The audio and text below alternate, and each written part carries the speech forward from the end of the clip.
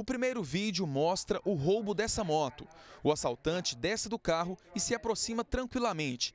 Ele dá a voz de assalto e leva a moto após um pouco de dificuldade para fazer a manobra de fuga. Nesse outro caso, a moto já é usada para cometer mais crimes. Agora, um casal para ao lado do carro. A menina vai até a porta, fala alguma coisa e em seguida dá um tiro na mulher.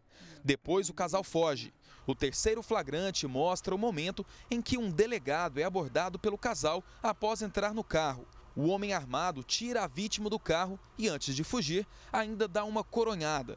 Eles levaram o veículo e pegaram a arma do delegado, que estava no porta-luvas. Os três casos aconteceram entre o dia 4 e o dia 7 de outubro, mas eles cometeram também outros assaltos. Ao todo, segundo a polícia, foram quatro veículos roubados, três carros e uma moto. Um deles foi esse, que inclusive foi usado nos crimes e flagrado nas imagens. Para não ser identificado, eles adulteraram a placa. Os outros dois carros e a moto também foram recuperados.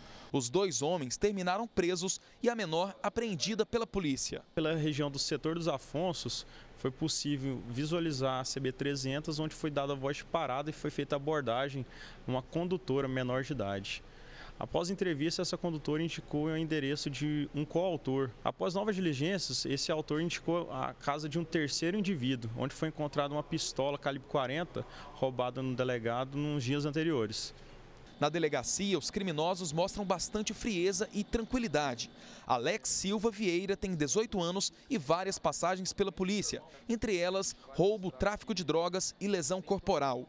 Yuri Vaz, de 22 anos, já foi preso por receptação e posse ilegal de arma. A palavra é só para o juiz mesmo, não tem palavra para ninguém que tem delegacia não. A menina, apesar de ter apenas 17 anos, já foi apreendida pela polícia cerca de oito vezes.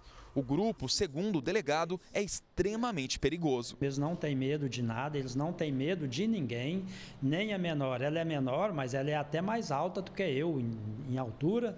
É, é perigosíssima mesmo. Ela desce sozinha da garupa dos seus comparsas, vai até o veículo que pretende assaltar e ela chega no motorista e ela que, que arma o revólver e põe a, as pessoas, as vítimas, para sair do veículo.